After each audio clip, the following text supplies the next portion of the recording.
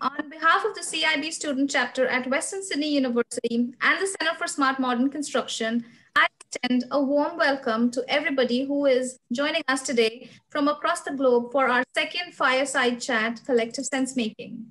I also welcome Amer, my colleague. We are going to be your host for tonight. Hi, Amer. Thanks, Priya. Today we have with us incredibly successful and high achieving professionals who are role models of thought leadership and entrepreneurial thinking. But before we start this exciting event, I would like to acknowledge the traditional custodians of the land we have gathered on today and pay my respects to the elders past, present, and emerging. With all respect. Without further ado, now I want to uh, request Professor Sanath Pereira, the director of the Center for Smart Modern Construction, to welcome everybody and tell us a little bit more about the inspiration behind the collective sense making. Professor Nat Pereira, welcome in port. Thank you, Amer. Uh, it's been a pleasure to uh, invite you all and then welcome you all to this uh, collective sense making event, the second iteration of the collective sense making event. Uh, the uh, student chapter of the Western Sydney University of the CIB student chapter. This is the second event you are doing. And I know that uh, last August we had the Resilience Through Innovation uh, event, which was successfully concluded. And uh, it's, it's really good to see how you are progressing and doing great things as we go along.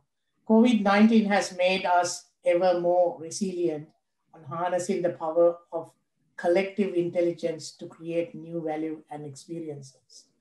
The CIB student chapter and the Center for Smart Modern Construction have always been about non-traditional approaches and what better way to create value than collective sense making.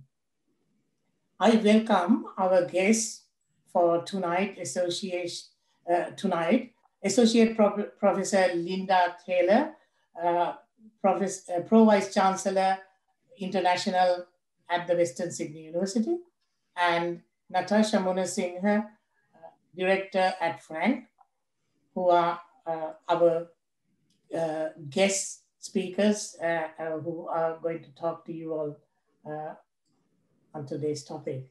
We couldn't have had anybody better to speak on resilience through thought leadership. I wouldn't take much of your time and let the event begin.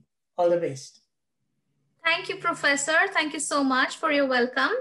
It's indeed an honor to have with us today Associate Professor Linda Taylor, Pro Vice Chancellor, International Western Sydney University, a public policy expert with 20 years of experience working across industry, government, and the education sectors Linda brings, uh, Professor Linda brings a breadth of experience to the role.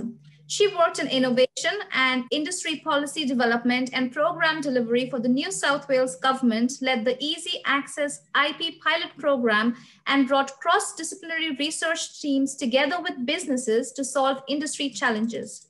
From 2007 to 2012, she managed the New South Wales government's India and Middle East desks building networks to attract investment to New South Wales. Her earlier roles include policy development in government and experience in not-for-profit and consulting sectors. In 2012, she received the prestigious Churchill Fellowship to research industry re research collaborations and commercialization in the context of Australia's innovation relationship with India. It's such an honor, Professor, to have you with us tonight and welcome to Collective Sense Making. Thanks, Priya, and uh, welcome on board again, Professor Linda. Our second guest tonight is Nathasha Munasinghe. We honor to have with us Nathasha, the CEO of Frank, an education company that has trained over 100,000 people in employment skills. Nathasha graduated law from the University of Sydney and the Australian National University, and recently became a full stack developer, winning the Women of Technology Scholarship. She's the current president of the University of Sydney's Alumni Council to attend a hold of a global viewpoint, considering she had lived in Asia uh, the specific, and now we are lucky to have her in Australia.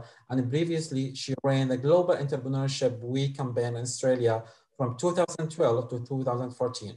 The campaign was officially supported by the Prime Minister Julia Gillard and honored by Barry O'Farrell with impact over 250,000 people around Australia. Welcome to our fireside, uh, uh, Nathasha. It's such a privilege to have you with us tonight. Welcome, guests. Um, and it's now time to hear from you. So in Interchange 2020, which we will uh, talk about uh, in details later on, we met Linda and Nathasha both. And I remember them saying, we might not all want to be entrepreneurs in the future, but all jobs of the future will need us to think like entrepreneurs.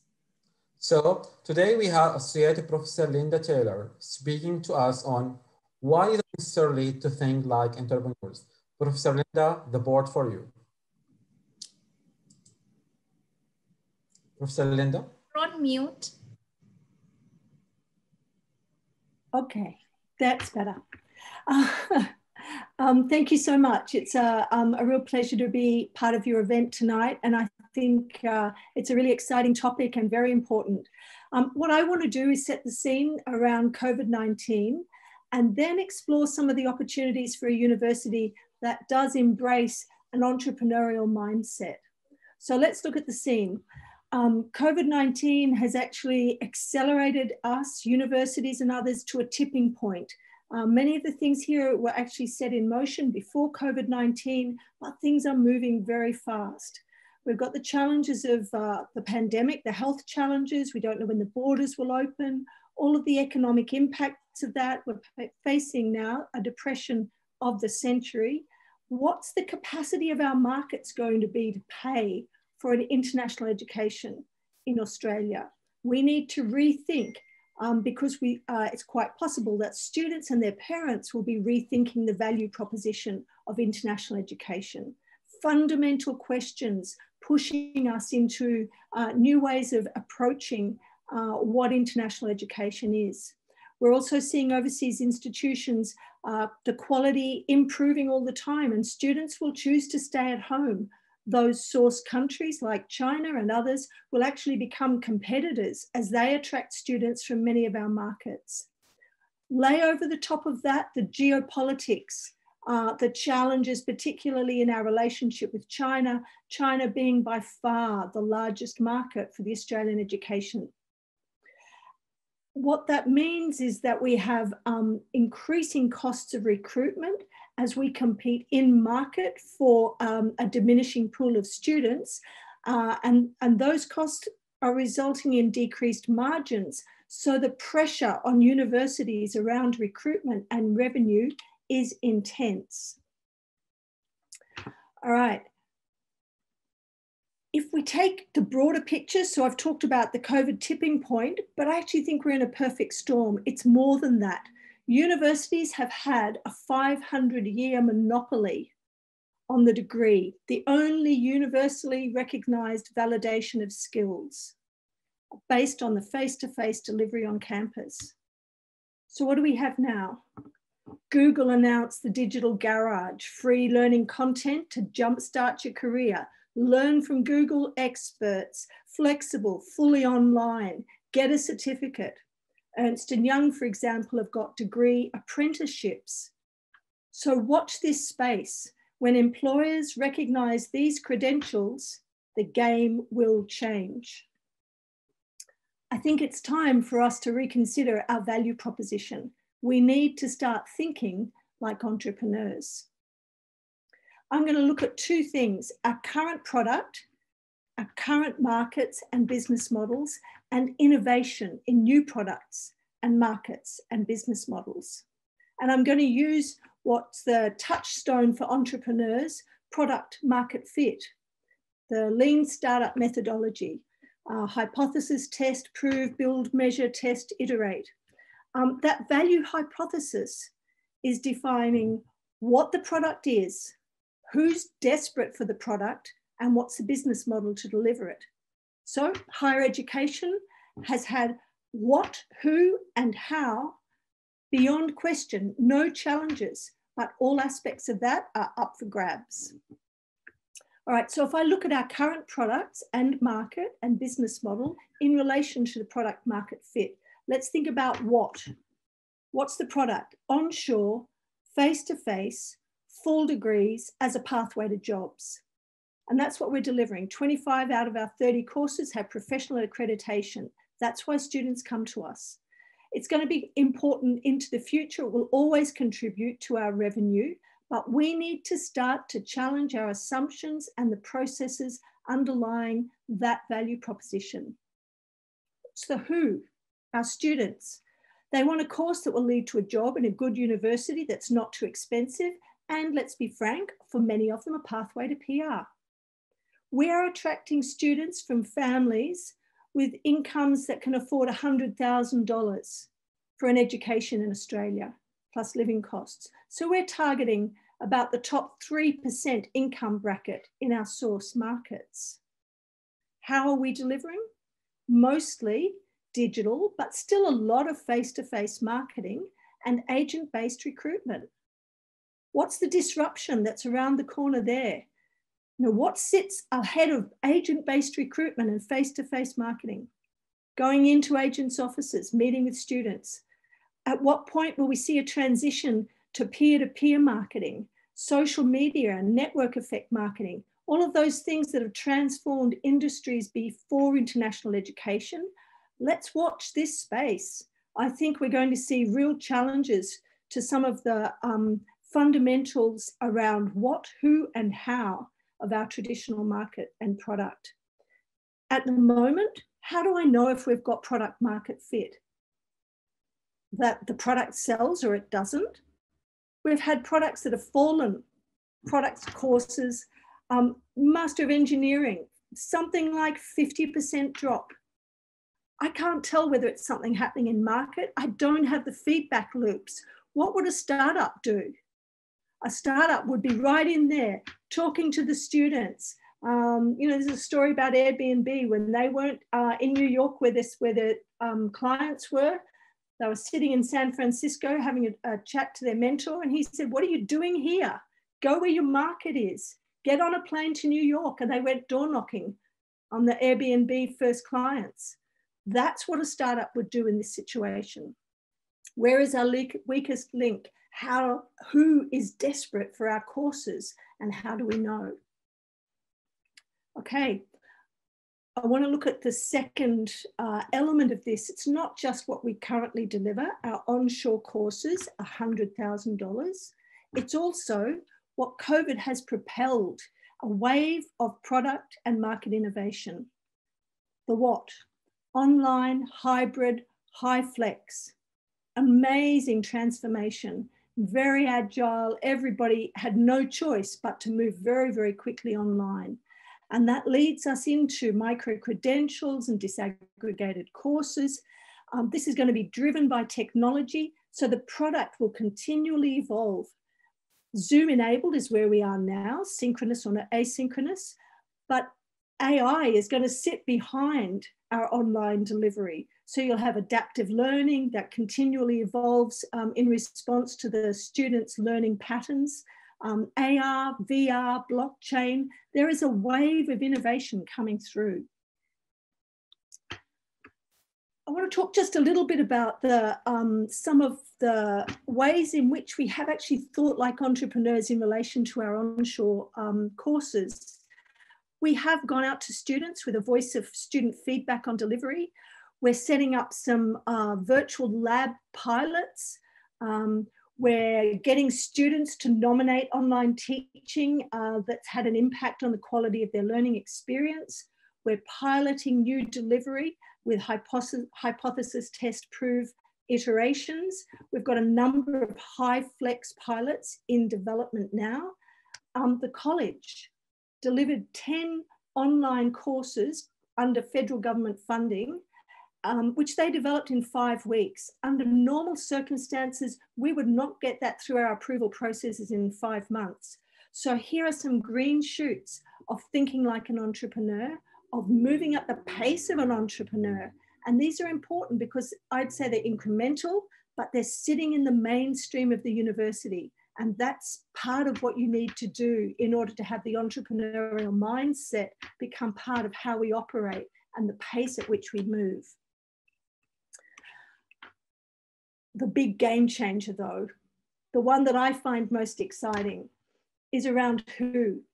So now we've got uh, the product that allows us to deliver, deliver online, flexibly, micro credentialed, offshore and onshore. It means that we have the potential to reach a completely new market. If we're talking about the $100,000 degree, we're reaching about three, you know, parents who are sitting in the top 3% of income bracket in our source markets. We can now aspire to reach the top 20% if we can find the product and the price point to reach a broader audience. And if we're going to do that, we're in a very different space. And I think it's time for design thinking.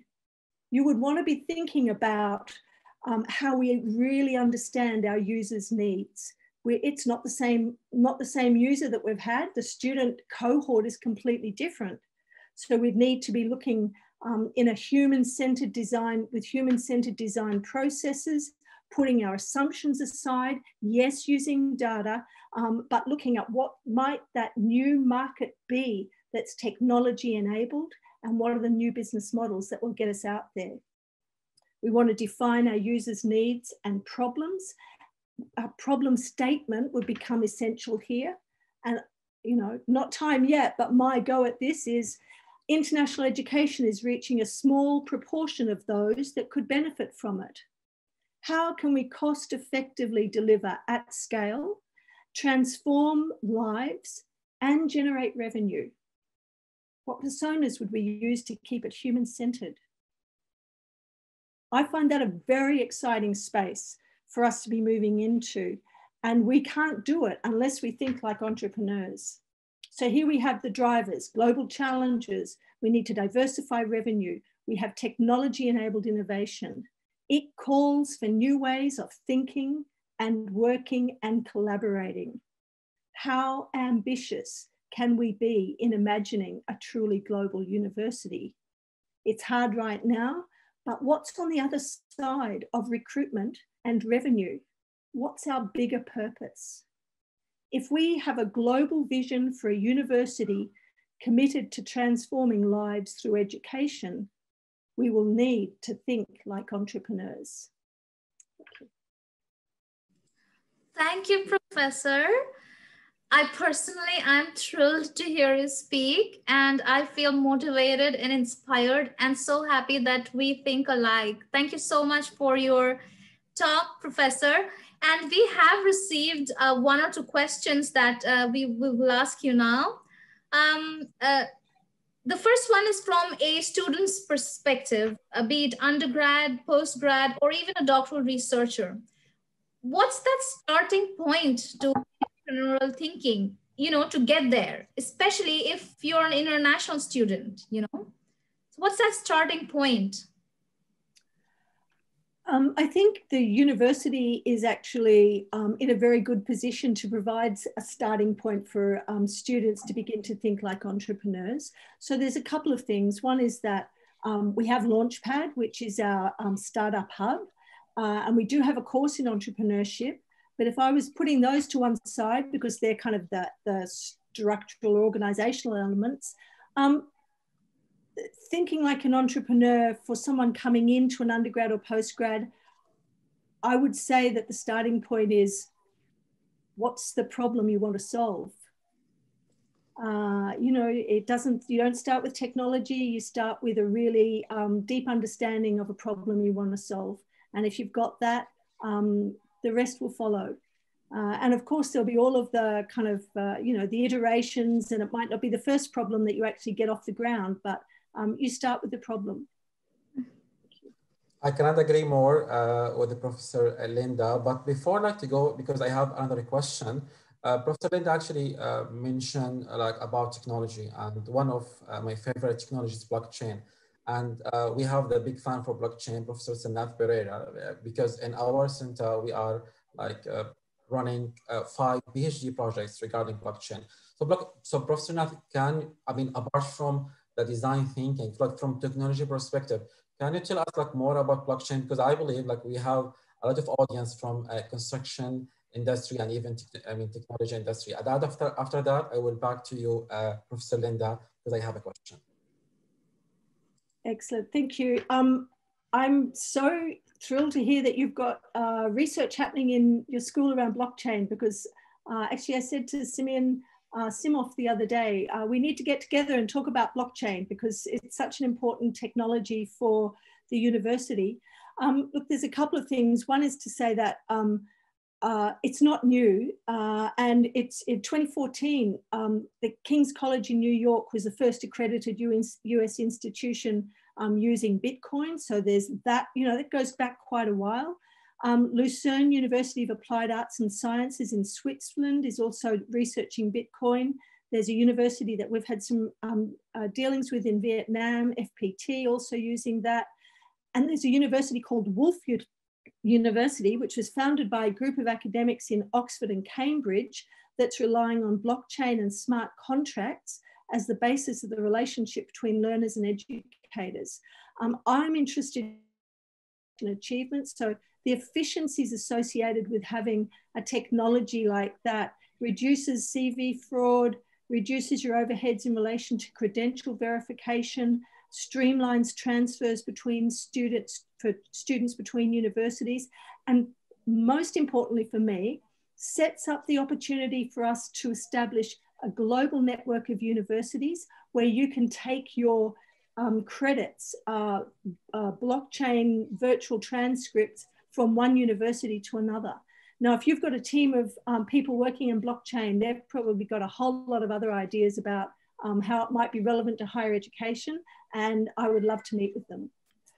Enough can I, add? Like, uh, I think uh, uh, Amer raised a very valuable question there, and uh, uh, Linda, you pretty much. Uh, um, I don't have to tell about blockchain. You have already touched on the benefits of blockchain in an educational context you have done the homework there very well. Uh, so now we need to make it happen. Exactly. Okay. We have all the capabilities and uh, uh, possibly we are happy to show you a prototype that we developed recently uh, that was targeting the property market. Uh, Ame and a few others were involved in developing that. And uh, we can sh show you the potential there and uh, and definitely it can be applied to for specifically for micro credentialing. Yes, and that's yes. something that uh, university is thinking uh, quite a lot about, mm. and the transportability and uh, trustworthy uh, exchange of credits is an extremely valuable mm. aspect mm. in using blockchain in managing educational aspects. I, yeah. I heard something about Melbourne using, uh, or they are trialing or something like that. Yes, I've, I've heard that too. Yeah, it's yeah. definitely starting. I think Deakin maybe as well, but I also heard Melbourne. So uh, we need to get started. Let's make it a, uh, we'll get together. yes, exactly. Very happy to uh, uh, collaborate on that and Wonderful. we can make it happen. Okay, very exciting. Thank you. Thank you, Professor Linda. Thank you, Professor Sanath. I usually say I am like glad and happy that I'm part of Center for Smart Modern Construction and Western Sydney University. But I'm also so happy because up next we have Nathasha. Nathasha will discuss how to use design thinking approach to build your career. She will draw upon both the mindset and skill set of design thinker to create the ultimate startup your career. We listened to Nathasha during Interchange 2020, and I can assure you she's an amazing speaker. Nathasha, you are on board. what did I say, Amer, about keeping the threshold very low? Thank you everyone for having me. Uh, always difficult following a good speaker.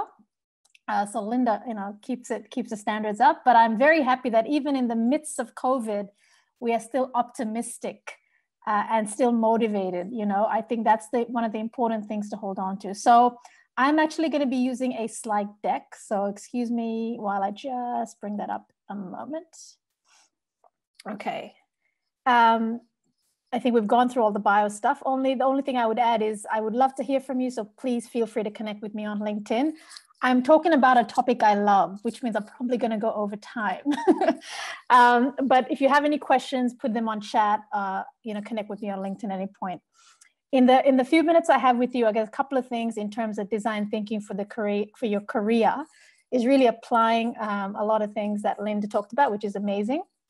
And I'm going to try to keep it very practical and share uh, things that I hope you can do straight after this session don't try to do everything, but if there's one key action you can do, you know, that's a win. Uh, I'm going to talk through why I think now is the time to really take charge of our being our own CEO of your own career, what that looks like.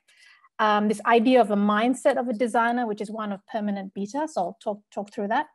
The two key design uh, mindsets, there are few different ways of doing it, but there's two I think in the time that I want to talk to you about. One is, as Linda talked about, really figuring out the problem you're going to solve that really is almost half the work. And then have a bias towards action. Go try stuff, go do stuff, learn, get feedback, and repeat. That's the process. Finally, in terms of skills, and we know we talk about relearning, staying, um, staying relevant. I have kind of like two approaches to skills building, which I find and I apply, find really helpful. One I call the Big Bang Theory, and the other one's called the Lindt Chocolate approach. I'll talk through those two, and you, you decide which one works for you. Okay, so the challenge is when I say, you know, be the CEO of your own career, what I mean fundamentally about that is drive your own opportunities, look to create it. I am really inherently positive about where we are. It's chaos right now, but I actually think there's more opportunity for all of us uh, to actually do stuff and to thrive, and more doors are open. The reason I also say that we need to drive and, and be, uh, you know, our, our CEO is that the world of work, there's lots of things going on. There's lots of not only changes, but restructuring happening. So, just in terms of facts, we spend a chunk of our time, our life, working, right? Anywhere between 75,000 to 100,000 hours. That's just off a 40 year work life. If you're doing anything more than a standard week over 40 years, you're probably inching towards the higher end of that. That's a significant chunk of your life, right? Yet, if we look at a lot of the um, surveys around people being happy at what they do, uh, the job being what they're looking for, there's a significant number. So Gallup said about 85% of people globally um, aren't really happy in, in their jobs they do. So you're spending a lot of your life doing this, but you're not really happy. So there's something, there's some actions you need to take to kind of make sure you're not one of those statistics. In terms of COVID, some of the changes that have been accelerated is now a lot of organizations to save money, essentially, are going and cutting down on things like full-time employment and picking up on contract workers and freelancers. Now, this trend was already happening. So before COVID, the US in sort of seven years or so was heading to majority of their workers being freelancers and contract workers, right? COVID, I think it just pushed, made that made these changes quicker. And in terms of the average average length of a, a gig or a contract, it's about you know just under five months. Now, these aren't like abstract theoretical concepts, right? Imagine if this is the future you're walking into, where your career is a, a few different contracts, maybe short term. How do you make that work for you? How do you make sure there are new opportunities awaiting you? And, and more importantly, not just surviving, how do you thrive in this? I think those are the questions uh, you want to be asking and preparing for. That's the world of work.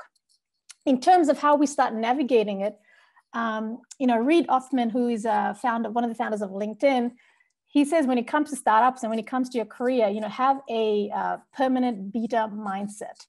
And what I mean by that is treat your career as a work in progress. There's no end goal. The F word is finished. There is no finished. um, and from the startup world, you know, if you think of the, how they approach this idea of permanent beta, Google launched, so Gmail launched in 2014 they you know got out of this uh, testing development phase in 2009 after they had millions of users. Even though they had their first million their second million they were still learning and tweaking and they still were nowhere near finished. If you think of amazon uh, jeff bezos from the time he started he has a letter he sends to his shareholders. From the time he started he says it's still day one of the internet and day one of amazon.com so, yes, be optimistic, but be vigilant. And that mindset of just uh, having that work in progress, making sure that things aren't finished, for me, actually, what it does, it, it helps combat overwhelm.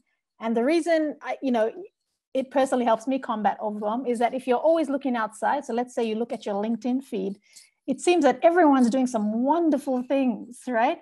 And it's easy to get caught up in a bit of a thinking that you're not doing enough, that it's never going to be enough. And I think if you get into that mindset, uh, that consumes a lot of energy. That's just a negative cycle.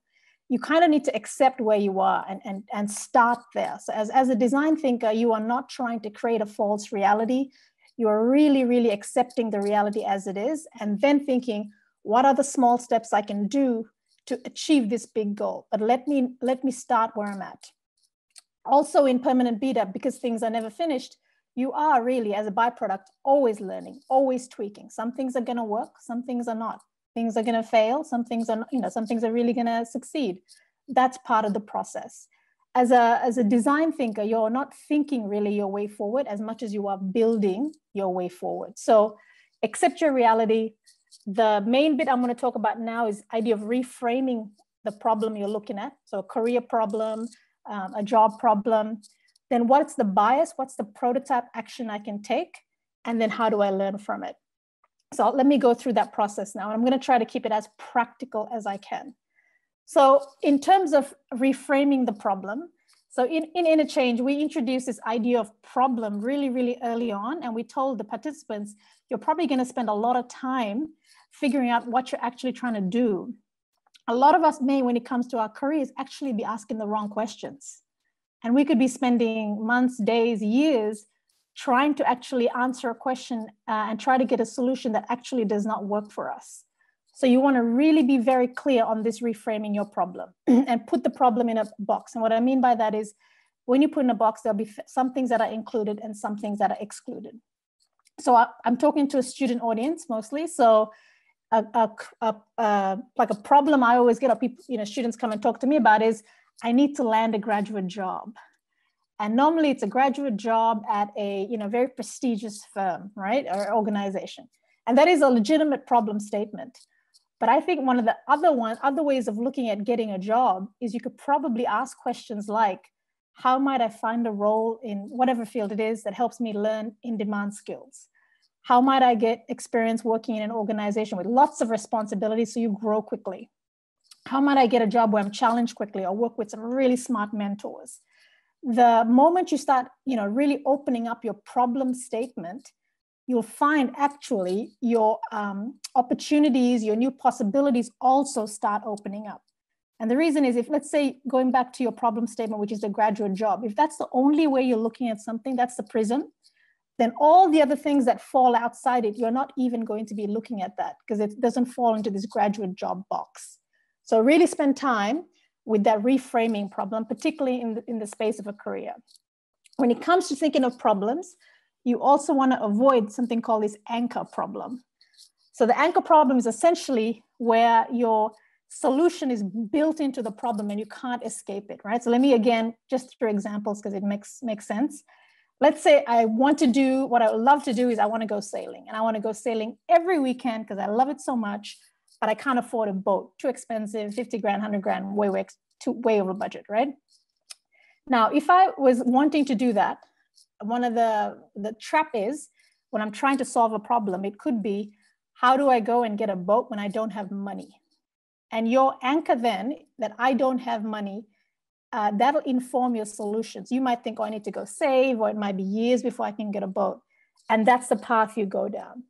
A better reframe of your problem to achieve what you really want, which is to go sailing every weekend, is how can I go sailing regularly with my limited budget? So you've not acknowledged the reality that you don't have the cash right now, but you still want to go do something. So then when you're looking at it that way, you might have a whole bunch of new possibilities open up, right? So I can join a volunteer crew, join a sail club. I can go and um, volunteer at events at the yacht club during Christmas or whatever. And you'll find that as you go and take those steps, you probably will end up with some paths to go and getting this boat, which you want to do at some point. But if you're only looking at the, how do I buy a boat problem, you probably won't try those other things, which might actually get you where you want, right? So I hope that's kind of uh, giving you a little bit of clarity around this whole idea of problem. The second thing is once you are very confident, yeah, this is exactly what the problem I'm trying to solve. Okay, let's go now make this happen, right? Let's go try stuff. Let's be curious. I'm not going to spend too long on this idea of goals, but um, a really great source of goals is a, a, Professor BJ Fogg at Stanford University. So one of the Instagram founders was a uh, student of his, and he talks through how he's got a three-step routine to creating habits, which sounds super simple, uh, but actually really works. And that's how I learned how to floss consistently was um, following his three-step routine. So when you have these goals into place, trying stuff, instead of going and doing something really big, break everything down to the micro goals. So if you want to achieve a mar- you know run a marathon, you want to break it up over eight weeks or um, eight, you know eight months, how long it's going to take you, and make it so easy that it's all doable and follow that consistently. So that's the process how you achieve these long goals. And even if you get 70% of, a, of a achievement, consider that a win uh, in terms of goal theory, right? So keep this in mind, but the Professor BJ Fogg probably the best, best source on how the theory works. Uh, in terms of prototyping also, when you're getting into action, particularly in the job space these days, allow, allow for you know, time for things to, to actually work for you. So if you're going and applying just for res resumes, you might have to do a bunch of other things also to get to this job. It's not going to happen over overnight, and that's other thing as a, probably as a student audience. Uh, that's the reality be okay with it and learn how to thrive and make that work in your favor. I want to show you, again, using an example, what prototyping in real life looks like in your career, right? So I, I, you know, we work a lot with students and one of the common fields students want to get into these days seems to be around consulting. Um, and I, so if a student comes up and says, I want to be, you know, get into the consulting field, uh, you know, you, you go and you do the normal process, which is you apply for resumes and applications and things like that. But as a design thinker, you want to think, what are the other ways I can go and find out more about this consulting field? So the first thing is going and talking to people who are consultants. So reaching out through your networks, through LinkedIn, and really getting uh, firsthand information from people who are doing it, what the world of work of consulting is like. You're not asking for a job. This has nothing to do with the job. This is part of your research, right? So tell me the day to day of a consultant. What do you love? What do you hate?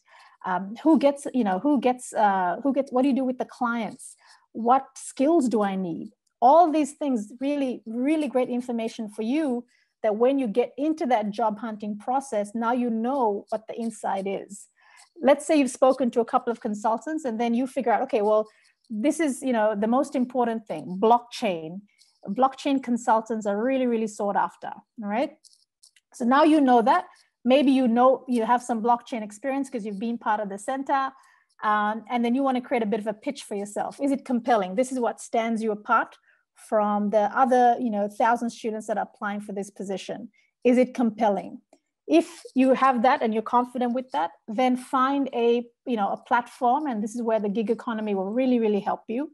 There are lots of platforms like upwork freelancer where you can actually pitch yourself as a consultant on a project you know do really good work get a review and that starts your career process right? So you might still end up in the consulting field but you've already started taking these actions as well as putting your resume in. So a lot of people put the resume in and then wait and that's one approach. This is another approach to get into what you want using small micro actions. Okay so that's kind of uh, the two things on prototyping reframing and prototyping getting to action Final thing is really about you want to build some skills. Like how does it start? Um, two two things that I kind of that helps me. One is is the Big Bang theory, and what I say about Big Bang is you start from where you're at, and then you expand outwards, right? So you start with your current set of skills, and then you pick skills that are kind of near uh, on the edge of what you do. It one it reinforces your current knowledge, and two, it actually might lead to faster uh, skills acquisition. So let me give you again some examples of what this may look like. So let's say you're studying or working in marketing. An adjacent skill for you may be psychology. You're trying to understand people. How do people make decisions? How do you, you know, sell or communicate to that? How do you change people's minds? That could be an expansion outside marketing. Let's say you're good at communication. You might find that you easily kind of pick up email marketing, which is now a very sought after skill in the tech space. If you're really good at writing, you might find actually the same principles apply for SEO. You need to know about keywords, how to structure documents, Same thing is very useful in, in the world of search, uh, search engine optimization, SEO. Again, very, very sought after skill. So think about yourself in terms of an inventory of where you're at, your current set of skills. And then if you were to expand out, what are some of that next layer that you could reach out to? And you might have, you know, you might have many. You can choose the one that you're curious about, or you can look at the market and go, you know, what's actually, uh, what's in demand right now that if I were to stretch myself, I would actually make myself competitive. So Big Bang Theory. The second one, which uh, you can choose, you don't have to go hand in hand, is like what I call the Lindt approach. And I say Lindt because if you look at, you know, lots of chocolates these days, you have, you have this, used to have the, only the standard chocolate, right? But now it's mixed up with a lot of things. So you have chocolate chili, you have salt and caramel and, and chocolate, all mixed. And sometimes these seems like very unlikely mixtures. And that's kind of what I want you to think in terms of if you're wanting to stand out, to be different, to be memorable, to be, for people to notice you, think of a skill set that you can pick up that is completely different from what you're doing and go and, and pick it up or learn it or do an online course. So if you're doing accounting, is there, is there a course or an online session about landscaping that you could do? Completely go out, right? And the reason is the moment you do that, you give yourself a position that is unique, that is different, that everyone else coming through for instance, probably unlikely will have that combination. And by choosing something that's very different, you've carved your niche, you carved your uniqueness. It doesn't mean you need to go and do anything career-wise with landscaping. I mean, you might pick different ways of thinking, but it's just uh, a way to position yourself and be unique in what is now a very, very crowded marketplace. So you could choose Big Bang as a way to go in terms of your skills development, or you could choose the Lindt chocolate approach, right? So um, final thing is just as a design, as a designer, a design thinker, you want to you know harness creativity, right? And it has no, it has nothing to do with career or job. It's just the way of being. Here are come you know just some actions you could take if you are in the space where you think I want to become more curious. I want to know what this whole curiosity thing about is about. So one is leave some time for a randomness. Uh, sometimes we're too planned, too structured we want to actually leave times where things are open. You might also do something different, use different bits of your brain. If you're always listening to the same playlist on your phone, listen to a different playlist. You know, if you always walk the same way to work or to uni, take a different path. Um, you know, read a different book that you've got a completely different subject matter, completely unfamiliar to you. Look at the people who are doing lots of amazing things, who are like the hubs and go arrange a time to meet up with them and see how they see the world. Why are they the hubs for opportunity? What's going on? How are they talking to people? Is there something going on with them that you can learn from? If you want to learn about trends, uh, ask see who which of your friends are the early adopters, the ones that always are getting, you know, learning about the newest thing coming. How what are they doing? Are they subscribing to some magazines? Are they picking up this information from somewhere? Learn from them. Um, if you know someone who's curious, ask them out for lunch. Again, jumping into their world. What are the questions they're asking? Why are they coming across as so curious? Why are they doing all these random things? These are things just in general. If you want to expand and build out curiosity and see what this curiosity thing is about, uh, start doing. And I know, for instance, taking different routes to work. I do that. I mix up my playlists um, I try to learn. I try to learn from the most network person because I'm like I'm fairly introverted naturally. So how is this person the, the hub of the party? Why do they know everybody? So those are things I definitely don't naturally have to do, but I have to program myself to do so I can sort of open up my mind and build and and get this curiosity into practical action. Because that's very much what I'm very passionate about is not the theory so much as in let's go and do the work and get the results from doing the work. So I think that brings me to the end. Yes. Um, please definitely connect me with me on LinkedIn. I hope at least one of these things was of value or some of these tips were of value to you. That is a pre-COVID haircut also. things have changed. Um, but thank you so much for your time and thank you so much for having me. Thank you. Thank you so much, Nathasha. What an interesting presentation. And uh, we've been getting interesting questions from the audience as well, given uh, how interesting uh, the presentations have been. So we will take a very interesting question from Rafael, who is a, a student uh, of uh, maybe his final year at Western Sydney University, a very young and enthusiastic lad. And so he has uh, asked a question, how do you see uh, the university student changing their mindset when there is so much data becoming available to the individual and there is no clear distinction between a university degree compared to someone learning the same content online? what would be the entrepreneurial mindset for someone trying to push further in the design and construction industry? Um, Professor Linda had already uh, taken the question um, in the chat, but it's only to the panelists. So I will try to post her answer to all the attendees as well. And I would also invite Professor Srinath or Professor Linda and Nathasha to take this question and give your comments on that. Thank you. Um, look, I'm happy to just um, kick, kick this off, but I'm sure others would want to contribute. Um, look, I think it's a really interesting question. And of course, when um, courses are available online, some of them free, um, you can ask yourself, why am I paying for a university degree? Well, I think you've got to look at um, what is it that you get from coming to university that you will not get on an online course? And for me, there should be um, you know, a richness and a breadth of experience that's not just about content. Content, you can get it anywhere. So, what is it that a university experience brings that is beyond content? And for me, it's around um, the things that I put in the chat um, your networks and your friendships, the um, experiential learning. So, I'm sure that in design and construction, it's about what you do as well as what you learn um, in terms of content. It's about testing your ideas, it's about expanding your um, view, view of the world. Uh, it's all of that kind of rich engagement. And um, I think that uh, universities need to position themselves this way. We are now in, in competition with, uh, potentially in competition with good online courses, but we have a value proposition. And I think this is, you know, to your point, um, the value proposition is that you get exposure face to face, you get the um, hy hybrid high tech um, online course, which you might not get with a straight um, MOOC or something like that. Uh, and really, the university, I would think, is in a position to offer you a rich experience around face to face networks, friendships, practical learning, um, challenging your mind, challenging your point of view, challenging what you learn.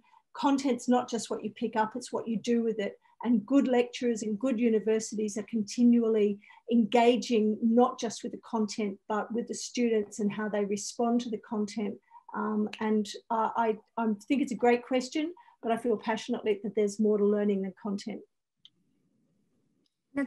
Thank you, Professor Linda. Nathasha, your take on that?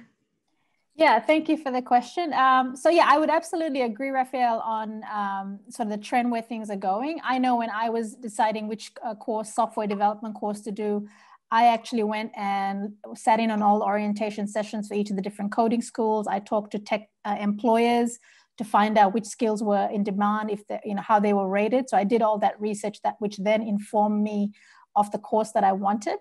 Um, I think the the this the advantage that universities or an educational organization will give you is employers the technical skills are required, but employers really high on some of those people skills. You know, how do you work with teams? How do you uh, communicate?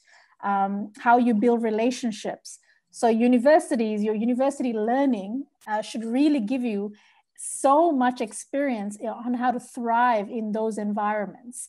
Um, and so that's why I always say group assignments, team assignments are probably the best experience for the real world. In the world of work, you're going to be you're going to be doing work and learning uh, and sort of meeting goals with other people. We use technology to get there to achieve things, but at the end of the day, you're working with people. So how, how do you develop those skills? How do you get the feedback you need? How do you know um, where you know you need to grow your strengths? How do you learn about emo emotional intelligence? How do you know about getting feedback, giving feedback? Um, when people leave jobs, they don't leave jobs. Uh, they leave jobs. The most given reason is they don't get along with their manager.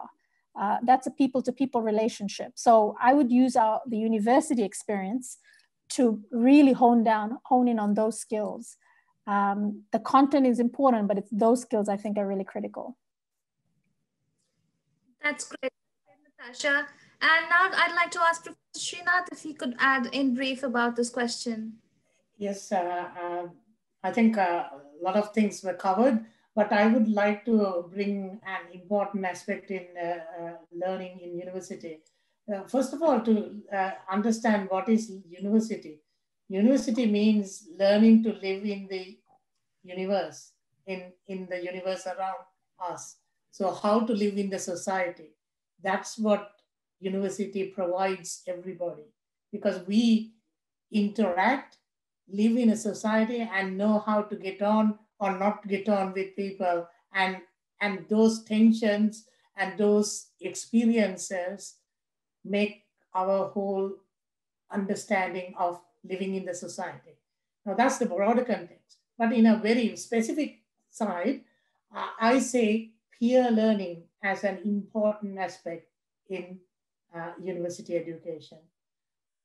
I teach in the Masters in Project Management, uh, predominantly adult students, and we create a setting where students can learn from each other. They talk to each other. More than they learn from us, they learn from each other in that process. But we facilitate that and we provide the environment and provide the catalyst that is needed to grow that knowledge and the debate, discussion to progress. So that is what university education will provide, which Google will not be able to provide. And uh, uh, Google and uh, Harvard open source learning, all of those were promoted, uh, talked about a few years back and for the last decade or so. And everybody was saying, oh, that will be the death of the university system. Here we are still, and strong, and stronger than ever before, facing COVID and similar situations. I don't think that's ever going to be the case. Uh, as such, for the universities, there is enormous amount to learn and enjoy in a university environment.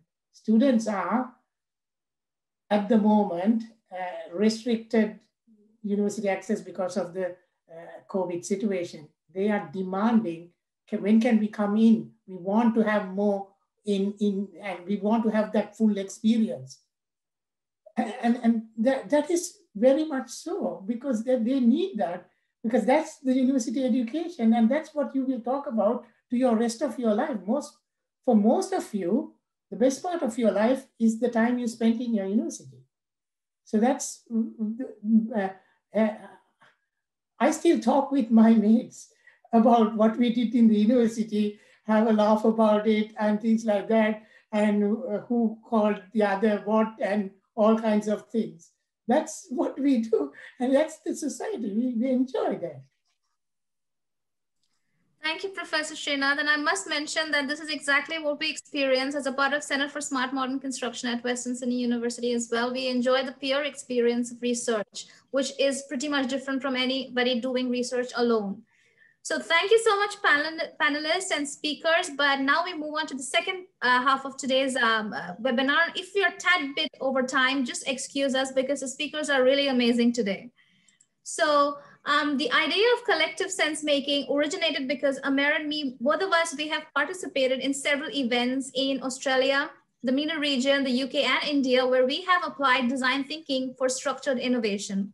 Uh, Amer is my co-host for uh, Collective Sense Making, and you all know him, but it's time I formally introduce him as uh, a speaker and guest for tonight. He's a researcher at the Center for Smart Modern Construction at Western Sydney University, working on BIM and blockchain. He has completed Oxford's blockchain strategy program and holds a master's in building information modeling from UWE Bristol. He is also an entrepreneur and has officially registered his startup in the UK and is working to make BIM business as usual. So today he will be talking to us about his design thinking experience at Interchange 2020. So you're on board, Amer, and let me share your slides. Thank you. Uh, thank you, Priya. It, it's totally different to speak as a guest.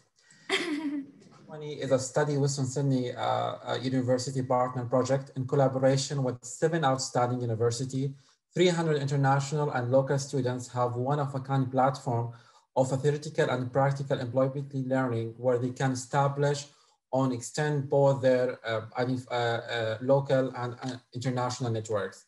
Over five weeks, uh, inter-university uh, teams create a simulated startup identifying and addressing real life problems facing humanity and our like especially our uh, uh, problem here in Australia, even uh, abroad.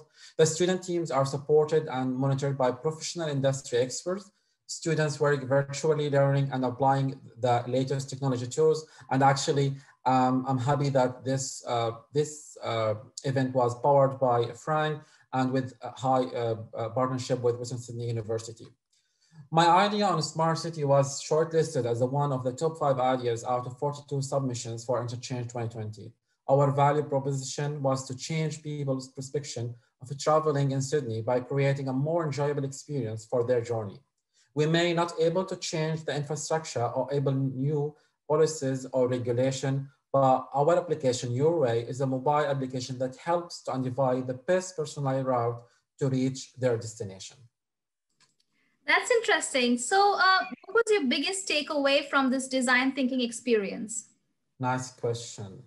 Uh, the first point uh, is about design thinking team should ideally be a cross-disciplinary team. And I, I believe the panelists have uh, mentioned that because the mix between specialists, including specialized association with a problem area contributing but not dominating, uh, dominating the journey. I believe while specialists may have vast knowledge on the technical level, they are also working towards solution targeting, targeting non-specialist people in many areas cases and require outside perspective in addition to what they already know. Bringing together teams that provide a wider view of things is, I think, is important, but even more so is to encourage team to look out their own cycle of influence to allow more holistic firm problems to be uncovered. The second point, I believe it's important, build the right team culture. If we apply the analogy of design thinking as a journey, having a good travel partners is important to safely and successfully arriving at your desired destination. So choosing the perfect team may not always be possible, especially in a situation where there is a limited of pool candidate. Within start needs to be involved in everything. So it may be more of a case of developing the appropriate team culture or even a project culture in order to move forward with the design thinking. Encourage empathy, experimentation, curiosity, courage, open mindset, holistic thinking, and stripping away biases, I believe are the great places to start. The third point, which is I need to share with you the importance of a good facilitator. Having a leader uh, to spearhead the mission uh, is important as there is always a tendency from the uh, members to resort to uh, familiar patterns, which may not suit with the needs of the design thinking. Hierarchies might sit quickly and uh, management styles may subvert the mission. So a leader who exper experience with maintaining the right mix of mindset is essential in design thinking. An ideal leader is someone who can maintain high level of energy and passion, someone who can steer the group around obstacles, and someone who has at least some grounding in running design thinking or uh, similar projects. So I believe in conclusion, the design thinking team or the process is about trust and thought leadership. The process of design thinking takes you into unknown and sometimes uncomfortable territory. Members of design thinking team need to be open-minded, curious, collaborative, and allow for their assumption to be challenged, ready, uh, ready for change and adaptable, I mean, in different areas. Yes, that's a lot, but it is worth the effort uh, as it create a great team spirit, work ethic, and most important, you will have an end product. So I believe, Priya, now it's my turn to introduce you as a guest. Priya is a, is a researcher at the Center for Smart Modern Construction with me at Western Sydney University working on Industry 4.0. Prior to commencing her doctoral research with us, she worked for Indian construction giant Larsen and Toubro for over five years in transportation infrastructure projects, such as highways, runway, and elevated corridors, and had a short stint with US-based technology-driven construction startup, Katerra. Today, she will uh, talk to us about her experience with Constructathon 2019.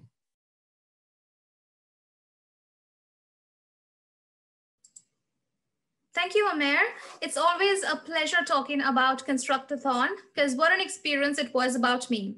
So Constructathon 2019 was Australia's first ever construction hackathon that aimed to collaboratively solve industry-wide problems in a fast-paced environment. It had 141 industry challenges submitted and it shortlisted three. Number one was improving process by reducing paperwork. Two was making mental health an industry standard. And three was creating safer working environments with zero fatalities and serious injuries. So it brought together over 120 leading construction industry and technology bodies across the supply chain to innovate and collaborate. Uh, it was sponsored and endorsed by some of the biggest names in construction in Australia and was supported by Google Cloud and was held at their head office in Pyrmont. And we were lucky to meet in person at that time. Um, so during the two-day hackathon, we identified that statistics related to safety on site remained frightening and reinforced that focus needs to be on changing the safety culture at construction sites. As a nation, we spend about more than 100 billion annually on prevention, insurance, and compensations. At the end of the day, we pitched our digital solution, OKMate, that crowdsourced safety hazards and safety ratings from everyone on site, collated the data and made it visible to everyone on site, notified the right people about the hazards and issues, and helped them address these more quickly. So our idea of changing safety culture by making safety more data driven won us the Construct Constructathon 2019, and we were awarded with a six week incubation to help uh, develop a clickable prototype with Fusion Labs, a global innovation consultant. So thanks, Priya. I mean, in my experience with interchange, I spoke about cross-disciplinary teams. So that thing you would like, I mean, you have like another thing you would like to highlight in addition to that? Absolutely. And it's totally aligned to something Professor Linda said earlier. It's about iteration. So to, uh, to validate OKMate, we iteratively worked on the viability, feasibility, and desirability model of structured innovation. Uh, we identified potential users and conducted several sets of uh, user interviews to understand exactly what they thought of a digital solution that crowdsources worker feedback. Uh, so when I say desirability, I'm asking myself the question, are we solving the right pain point? Exactly what Professor Linda said as a starting point. A test for desirability focuses on whether your solution is a nice to have solution or a must have solution for the customer, right? Feasibility, I ask myself, are we building on our core operational strengths? A test for feasibility measures the operational capabilities within the organization in terms of technology, their finances, branding, customer service, etc.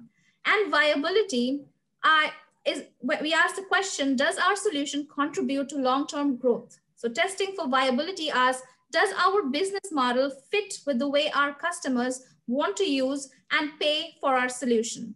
So to conclude, iteration and doing this process over and over again in a loop and synthesizing the learning is our friend when using this model of structured innovation. And that's something I thought of sharing with the audience today. Thanks, Priya. I believe everyone here interested like uh, next, uh, next year to be, uh, to be uh, in person with Interchange and Construction Hackathon 2021. So we are now at the frag end of our collective sense making. I would like to remind everyone here that both our speakers today are on LinkedIn and you can connect uh, them uh, and also me and on LinkedIn for more uh, innovative and collective sense making news. In addition to that, to know more about such events, don't forget to follow the Center for Smart Modern Construction page on LinkedIn and Facebook for our upcoming events. Now, on behalf of the CIB student chapter, I would like to request our current president, of the chapter Buddhini to present a vote of thanks. Thank you, Priya, Amer, and the panelists for the wonderful session. Summing up the live chat on collective sense making, I would like to thank Professor Srinath, the director of the Center for Smart Modern Construction, for joining with us today to welcome the guests. Also, Professor shared his expertise on the potential of the blockchain technology in managing educational aspects. This is definitely a great starting point for blockchain related collaborations. We are looking forward for those. And also, I was thrilled to hear how you decoded the meaning of the university education to be learning to live in the universe. I had never heard of it before. with these specific aspects of peer, peer learning. So thank you for your encouragement and we are truly honored to have you here, Professor. And it is interesting how Linda and Nathasha both shared their views on the design thinking, resilience through thought leadership. At times like this, where all leaders play a pivotal role in taking quick decisions to face the fast changing nature of any industry, today's fireside chat is quite trendy and relevant. My key takeaway from today's chat are enormous. First, I would like to note how Professor Linda mentioned the impact of the global pandemic particularly to the education sector in Australia. Flexible, fully online modes of education have changed the game from traditional thinking to insist anyone and everyone to think like entrepreneurs. Most of the products in the current context have been focused on one single question What would a startup do? Yes, we all are back to basics, and it is a matter of time for us to rise back to a better normal from the new normal. Thank you for your valuable ideas, Professor Linda. Moving on to Nathasha and uh, how she highlighted how being the CEO of your own career is extremely important to be more optimistic at times like this. One statement said by Nathasha sticked in my mind. That is to be happy in whatever the career you are in.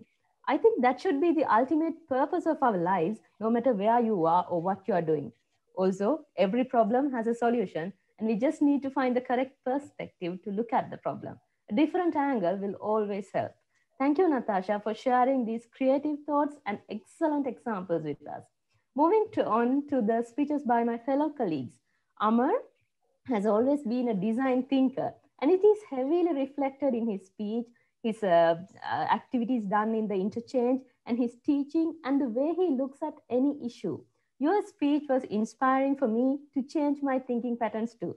Thank you, Amer.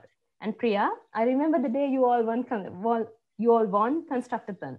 That was one year back. And the learning process you all went through while incubating the tiny idea of OKMate to make it a business prototype, I'm pretty sure those brainstorming sessions, pitching sessions, and whatnot was extremely helpful in shaping your career.